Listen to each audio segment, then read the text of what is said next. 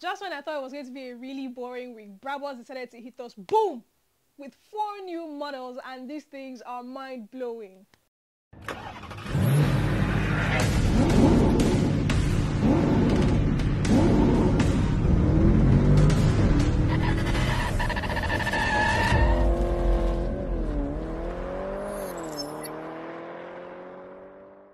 blowing. guys, it's Ride With Miee and today we're going to be talking about the beautiful menaces that Brabus decided to offer us this week. So this week they launched and released four new models. So we have the Brabus 820, the Brabus 700, the Brabus Porsche Taycan and the Brabus 900 which is the, we'll save the best for last now. So let's save the information on that one. So let's begin with the first one that they released, the teaser one. So they released the Brabus 820, which is based on the 911 992 Turbo S. And this particular one is one of its kind. So they did something really interesting to this car. So I will get on with it in, the, in a moment. But first of all, I'd like to ask you guys, if you haven't subscribed, please do that.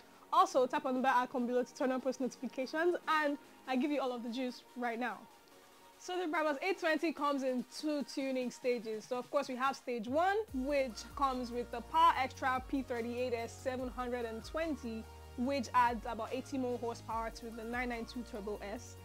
But we also have the stage two, which comes with the Power Xtra P38S 820, which is what we're about to talk about right now. So this car is powered by a 3.8 litre flat six engine, which comes with twin turbochargers that have just been newly developed. Of course, it's mated to an 8-speed dual clutch transmission and it does 0 to 100 in 2.5 seconds.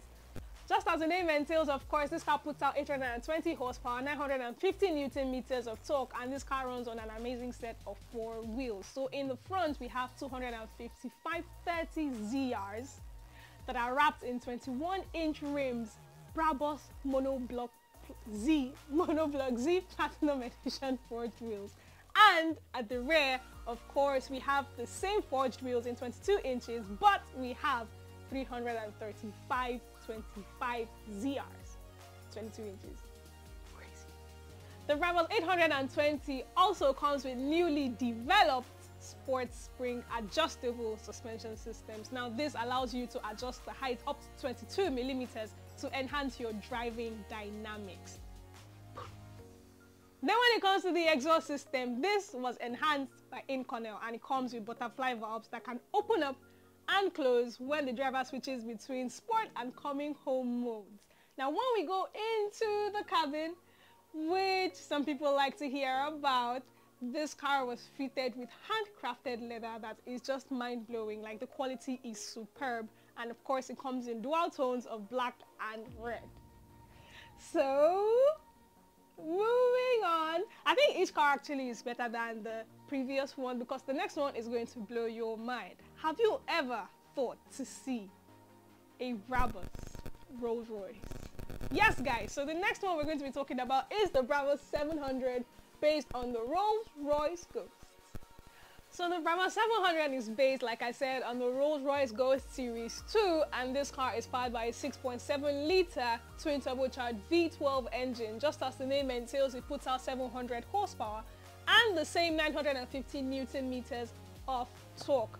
This car sends all the power to, of course, all four wheels of the car and it is mated to an 8-speed automatic transmission. Of course, you have a top speed of 250 kilometers per hour, and this car runs on 22-inch Brabus Monoblock M Platinum Edition forged wheels. If I got that right. So Brabus fitted this car with carbon fiber aerodynamic enhancement components like, of course, you have the grille frame and carbon fiber, the front lip spoiler, the lip splitter, the air intake surrounds, and some other parts of the car in front and in the rear. The exhaust tips were not left out because this was made out of carbon finished stainless steel exhaust like system. That's what we have right there with active valves. Now, they also added daylight, LED daylight running lamps in the front bumper. And you know all those shiny parts of the car that we usually used to have? Yeah, those were replaced with shadow chrome. So they're a bit toned down. Hmm, no more shiny parts, I guess. Yeah, pretty much.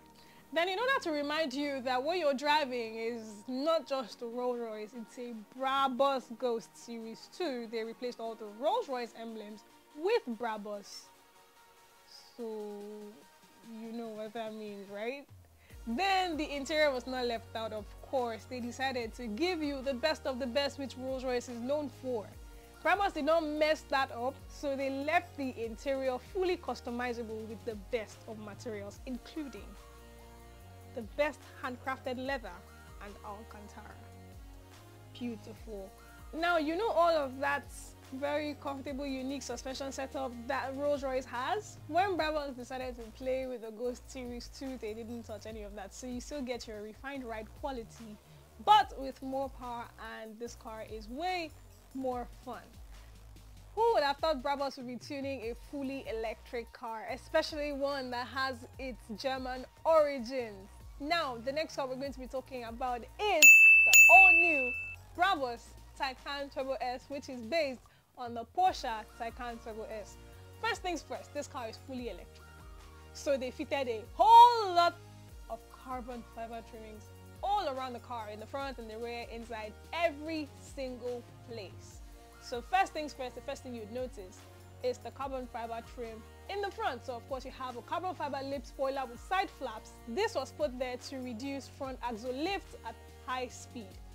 Now in the rear of course you have a three-piece rear spoiler and a new rear diffuser. This was put there to, you know, perform the same function as the ones they put in the front. Yeah, so it gives this car like a very firm stance. So, you know, handling is then you have even more carbon fiber around the car and carbon surrounds to improve the airflow into the radiator. Now when it comes to the suspension system, the setup is similar to that one you I explained in the 820 and the rim is basically the same exact rim but in 22 inches and the catch here is you get to choose amongst a variety of options. That is epic. I like that part. So when it comes to the interior, Brabus fitted the Taycan Turbo S with soft, breathable and durable leather as Alcantara finishes. Then of course you have a sprinkle of carbon fiber here and there, you know, like I said, there's carbon fiber all over this car. Yeah, now when it comes to the powertrain, because it's fully electric, Brabus didn't mess with it, so they left Porsche's dual electric motors that put out 750 horsepower and this car sprints from 0 to 62 miles per hour in 2.6 seconds and it has a top speed of 161 miles per hour. Now, there's only one downside to this car. The Porsche Taycan Turbo S has a major competitor and this major competitor puts out uh, or offers longer range than the Taycan Turbo S. So if you would, please tell me in the comment section, who do you think this major competitor is? So now we're down to the last but definitely not the least. This one is the Brabus Ultimate Supercar. Now, we're talking about the Brabus 900 Super Black, which is based on the G63 AMG. So of course, this particular car comes with the G63 AMG basically with like a whole lot of add-ons like the Brabus kits which, seemingly, which makes the car or the SUV seemingly lighter. Anyway, this car is powered by a 4.5 litre V8 engine that has newly developed twin turbochargers. This car is mated to a 9-speed automatic transmission and just like the name entails, it puts out 900 horsepower and a whooping 1250 newton meters of torque. wow, that's something. Now, this car sprints from 0 to 100 kilometers per hour in 3.7 seconds and it has a top speed that has been electronically limited to 280 kilometers per hour. Sheesh, I, know someone who's not going to be happy about this part. But let's see how he handles it, shall we? Now when it comes to the tire setup, of course we have the same Platinum Edition wheels or rims, only that this time, as opposed to other cars, the G-Wagon comes in 24 inch rims. Mad. Brabus also made available a stainless steel high performance exhaust system with full carbon trims and this car has like this exhaust system has like controlled active controlled valves or controlling valves which allows the driver to open up the exhaust system to loud it in sport mode and hush hush it in coming home mode which is similar to the setup we have in the Brabus 820 now when it comes to the suspension setup they spoke a lot of English so we have a lot of um, wait hold on I'm going to get back to you on that so back to the suspension system. So Brabus said they have a Brabus Ride Control Aluminium Coilover Suspension System. What? Opo! Ah ah! Oyinbo yẹn pọ̀ is plenty. That one there was a violation. Personally, I wouldn't have it. Anyway, so this suspension system basically allows for ride adjustment up to 45 millimeters. This allows for optimal handling. Now remember when I said that they fitted a whole lot of lightweight materials in this car? Yeah. Handling. So, bye fellas, I'm gonna leave you all in the dust.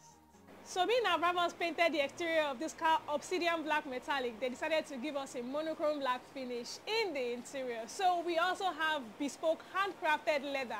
These people did not leave, they didn't leave anything out of it, you know, they were very detailed about it. So this bespoke handcrafted leather is accentuated by seashell diamond, seashell diamond quilting. And because they are paying tribute to their founding year, you have 77 signets on like different parts of the car inside this is just mind-blowing. So, having looked at all of these cars, which one do you think is your favorite Brabus partnership? And what do you think? Do you think Brabus should stay out of the way and just stick to Mercedes-Benz? Or do you think that we are all ready to welcome these partnerships with other performance cars or even car brands? Tell me that in the comment section, beautiful people.